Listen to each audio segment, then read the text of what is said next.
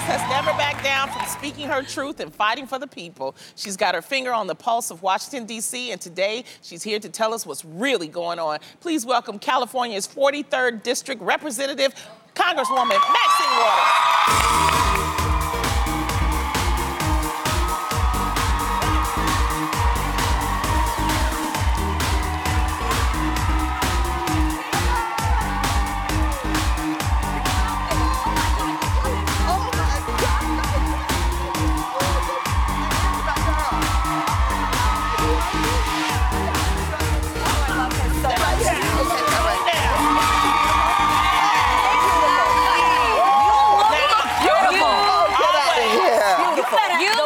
Look like a glass down Okay. Yes. We were all don't like together. you all. th- we were all together this past weekend Yes. at Tyler Perry's studio. Oh my Did you have a good time? Did I have a good time? Yeah? It was fabulous. Yes. It was wonderful. Yeah. I mean, it is the biggest event I've ever been to. What was your favorite Yes. part? Your favorite moment?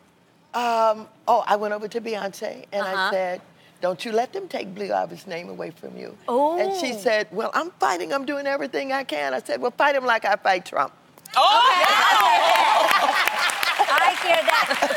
Speaking of Trump, there's a lot happening in the news right now with obviously the inquiry of impeachment um, of Donald Trump. So I'm curious, like, break down to us what exactly happens during an inquiry for impeachment. What happens? Oh, good question.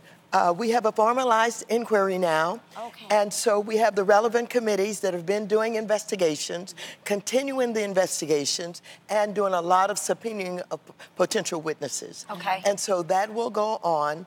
And the six, all of the six investigatory committees, one of which is mine, Okay. uh, the Financial Services Committee, will get together with the Speaker and we'll decide what will go in an impeachment inquiry.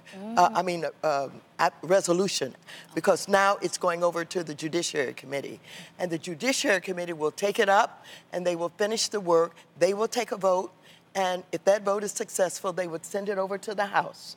And then the House will vote on it. Oh. If that vote is successful, then it goes to the Senate mm-hmm. that acts as a jury. And of course, if he's impeached, he's out, he's gone. Okay. Wow. But that is a process. It's a process. That is a process. So I just want to ask that whole process, all the way going to the Senate and then the jury, how long does that generally take? Well, the Senate is the jury, Right. and we don't know how long it takes.